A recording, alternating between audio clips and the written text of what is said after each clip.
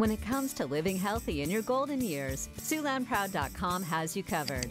Find tips, advice, and regularly updated information in the Healthy Seniors section. Healthy Seniors on SiouxlandProud.com is brought to you by